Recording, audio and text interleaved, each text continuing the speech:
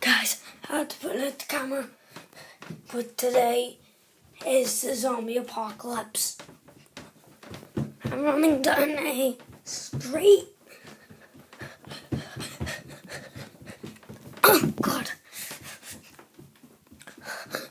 And you might not be able to see me, but there are like trillions of zombies behind me. And um, I can't really speak that loud. I'm, I'm gonna die